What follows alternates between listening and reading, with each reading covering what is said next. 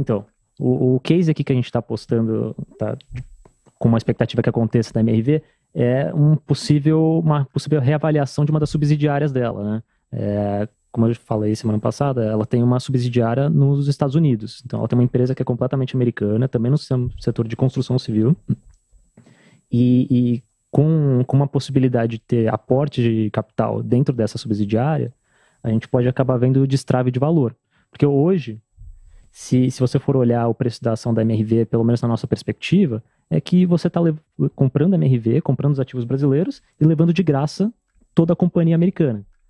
Então, conforme o, o, fato de você ter um aporte de capital no meio do caminho aconteça, você vai ter uma avaliação desse ativo. Esse, esse ativo não pode mais ser ignorado, ele vai ter algum valor.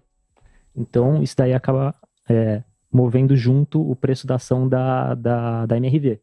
Então, aqui a gente tem um caso recente, que foi um aporte também, que aconteceu, em uma subsidiária da Anima. A Anima, é, que é uma empresa de educação, é, recebeu um aporte de um bilhão em uma na subsidiária de, de medicina dela. O que aconteceu? No dia seguinte, a ação subiu 26%. Por quê? Caraca. Porque, inclusive, avaliava a empresa em, em 5 bi. Né? Se você fosse olhar o, a, Anima na época, em, mercado, em avaliação de mercado, né, o market cap dela era 2,7. Então, e esse daí, o market cap dessa, é, o, o, o EV dela é 5, né, mas o market cap é 3. Então o market cap só da subsidiária era maior do que a própria Anima. Então não tinha como ficar parado o papel, ele subiu. O, o, o caso da MRV é semelhante. É, a gente deve ver as, um, um aporte aí ao longo dos próximos dois anos, reavaliando a HS. A HS é essa subsidiária americana.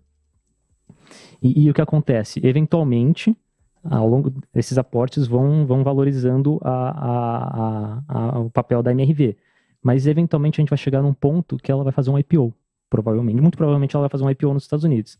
E fora esses aportes, o IPO nos Estados Unidos também destrava mais um pouco de valor, que seria o último aporte, né? É, esse destrave de valor, a gente faz exatamente parecido com, com o que o Gabriel fez para TIM. Então a gente pega os múltiplos de, de empresas comparáveis lá nos Estados Unidos, também são empresas de construção civil, é, que atuam no, basicamente no mesmo segmento da, da HS, e, e a gente pega a média. E aí, se vocês forem ver, a média delas, tudo bem que tem algumas um pouco mais altas, mas se você for ver, todas elas são muito mais altas do que, do que a MRV. É, mas a média é muito acima também.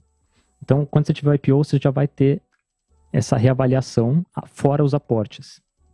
Então, se a gente usa esse valor, aqui, aqui é uma sensibilidade um pouco mais complicada. Mas se você for ver aqui, tem, a gente tem Acho que não dá para ver a tela. Não, dá para ver. Tá.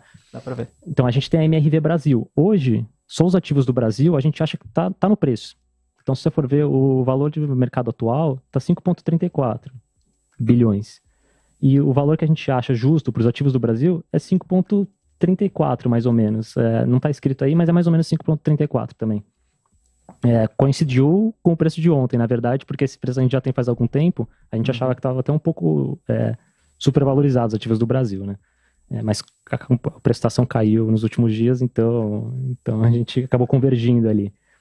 E, e a gente tem, acredita que a, a MRV Estados Unidos, que hoje está de graça nesse sentido, pode ter um valor muito significativo ao longo do tempo. Então, conforme esses, esses aportes vão acontecendo, ela pode ter, ter esses valores. E aí, no evento final, que seria o IPO, a gente poderia chegar nesse desconto de 0% sobre o, preço, sobre o valor patrimonial.